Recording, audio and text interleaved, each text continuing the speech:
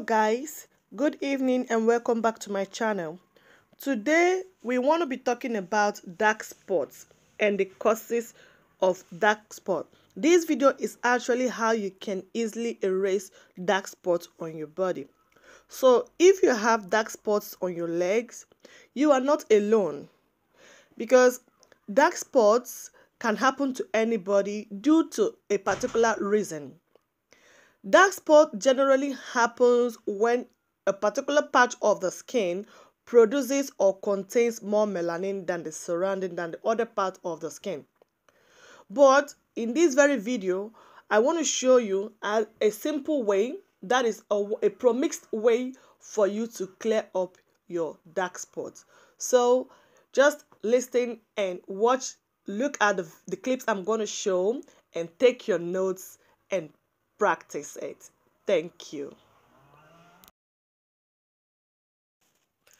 Dark spots on the skin, also known as hyperpigmentation, age spots, solar lentigines, or liver spots, depending on their cause, can happen at any time but most often appear in middle age. Pharmaderm is the next ingredient. Pharmaderm cream helps to treat diseases and conditions of the skin. It works perfectly on fading dark spots. Sulfur, half teaspoon. Sulfur works similar as benzoyl peroxide and salicylic acid, but it's very gentle on the skin. Neem oil, 1 tablespoon. Neem oil has loaded antioxidants, fatty acids, and antibacterial properties. Carrot oil, 1 tablespoon.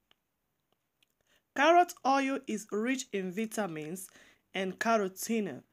It can be used in all skin purposes, in all skincare purposes as it soothes, moisturizes, and lightens the skin. Clean cap.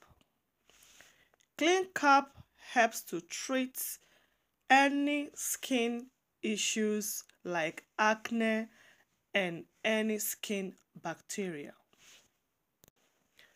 Have Neotincol cream. Neotincol is a triple action tube cream that contains neomycin, nystatin, and clobetasol. It is very effective for any kind of skin issues. You can also be a distributor of Neotincol in, in, in Nigeria, so contact me if you're interested. How to mix this production. In a clean glass bowl, mix your ingredients together until they are well mixed.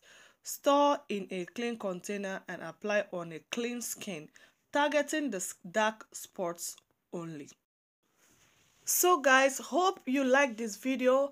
Permit me to use this manner sometimes, also share some recipes with you people because of time and other schedules that I have here.